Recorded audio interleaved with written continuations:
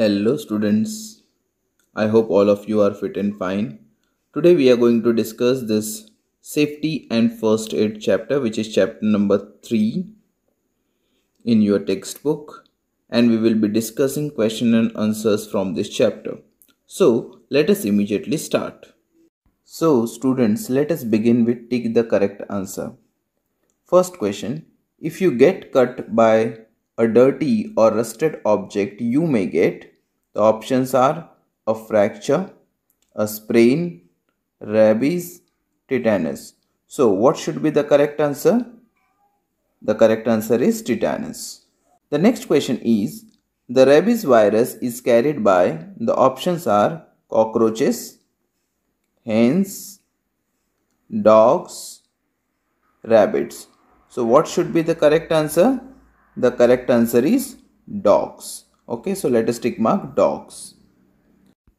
Let us see next question. The next question is for putting out a fire caused by petrol we should options are switch off the electricity supply turn off the gas supply throw water on it throw lots of sand on it. So what is the better option? The best option is throw lots of sand on it. Okay because sand cuts off the oxygen supply to the fire so it can very well extinguish the fire. So throwing a sand on a fire caused by petrol is always a good option.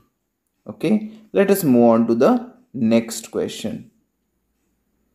The next question is nail polish naphthalene balls and paints may contain the options are sugar salt poison, juice.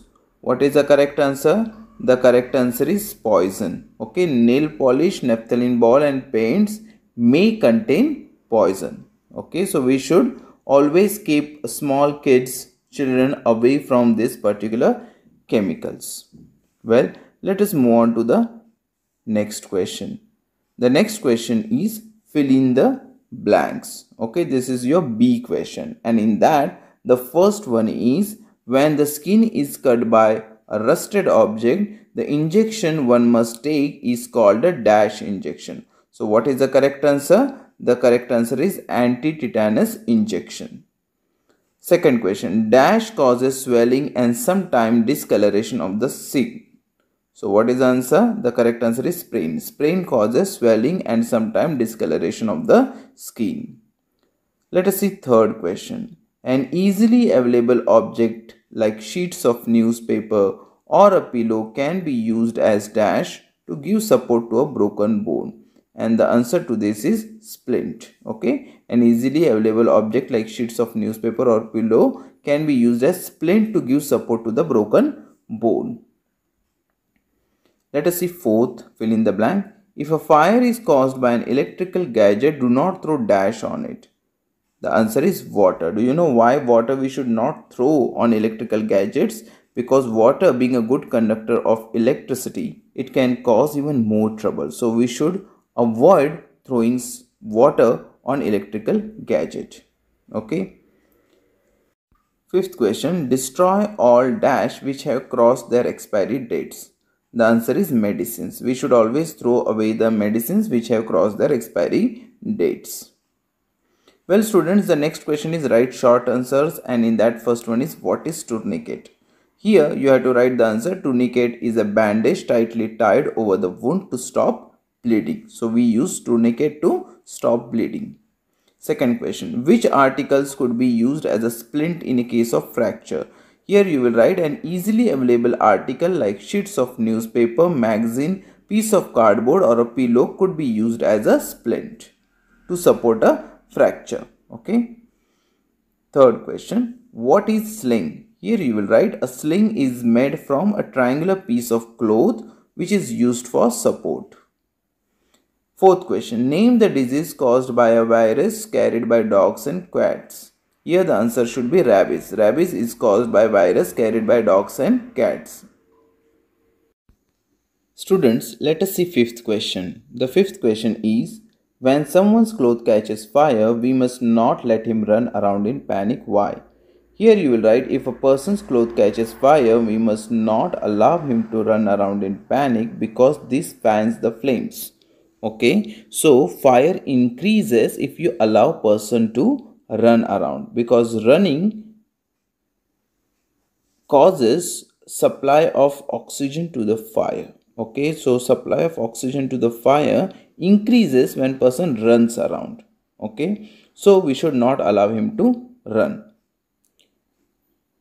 Students, now let us see long answer questions. And in that first one is, what first aid should be given in case of minor wound? Here you will write, wash away all dirt around the wound, clean the affected area with cotton wool soaked in an antiseptic lotion. Place a thick pack of cotton wool or sterile gauze on the wound and press it with your thumb and fingers. This stops the bleeding. A tourniquet can be used. This is a bandage tightly tied over the wound to stop bleeding. I will repeat the answer. Wash away all dirt around the wound. Clean the affected area with cotton wool soaked in an antiseptic lotion. Then you will write place a thick pad of cotton wool or sterile gauze on the wound and press it with your thumb and fingers. This stops the bleeding. A tourniquet can also be used. This is the bandage tightly tied over the wound to stop bleeding.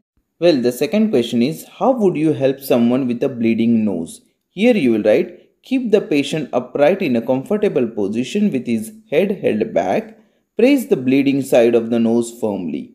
Keep an ice pack or wet cloth on the nose and the head of the patient. Ask the patient to breathe through his mouth and not to blow his nose. A little bit of bleeding from the nose is harmless, but if bleeding is heavy, send the patient to the doctor. Okay students? Now let us see third question.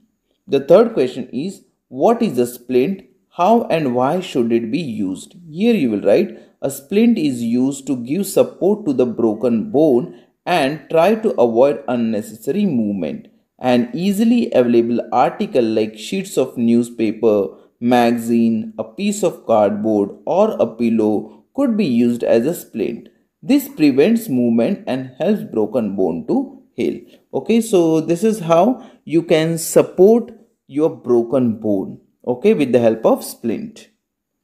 Fourth question. We must not prick blisters. Why here you will write sometimes the skin gets severely burned and blisters are formed we should never try to prick a blister because an open blister is an open wound and it can cause infection it can catch infection and that is why we should never prick a blister.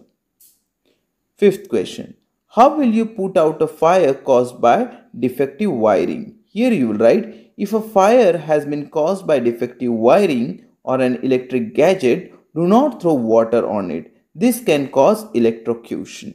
Immediately turn off the main switch. Smother the fire by throwing sand over it or else you can use fire extinguisher also. So this is how you can put out the fire caused by defective wiring. Well students, let us see last question for a day.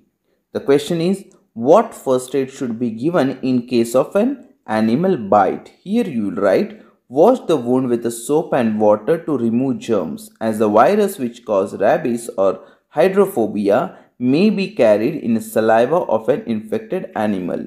Dogs, wolves, Bats and cats are known to carry the rabies virus. Apply an antiseptic lotion to prevent infection. Bandage the wound with a sterile gauze and rush the victim to a doctor. So this is how you can give first aid to a person who has faced this animal bite. Well students that was all from my side. If you have any question feel free to ask. You can put your questions in comment box. Thank you for listening to me. See you during next session with a new topic. Until then, take care. Bye bye.